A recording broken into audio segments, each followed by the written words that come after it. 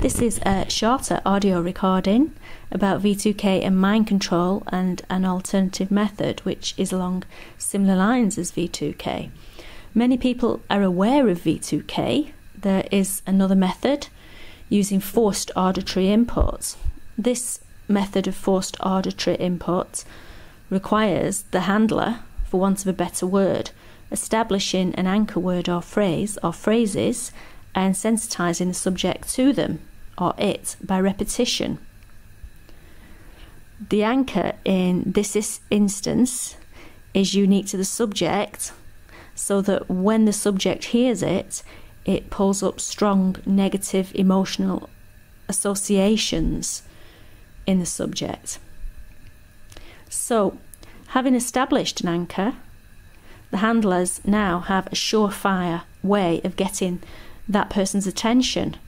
This is necessary in order to hypnotize or program them. I'm using the words hypnotize and program interchangeably here. Now, subliminal suggestions or commands are then piggybacked onto this anchor, either by being said at the same time the anchor is said, or said close by to the anchor words or phrases so that the two overlap.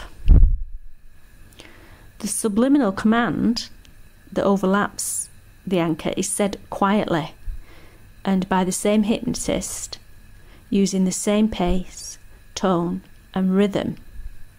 But the original anchor or anchors are often said by different people. What happens in this method is that the conscious mind is drawn to the anchor and is distracted by it, trying to work it out, etc. And in those split seconds, meanwhile, the subconscious passive mind accepts the quieter subliminal programming that's placed over the anchor without questioning. The person is unaware that these subliminal messages have gone into the subconscious, they've only heard the anchor. As the subject is sensitized to the anchor or anchors, their attention will be directed towards it, even if there is heavy background noise, such as in a cafe or bar.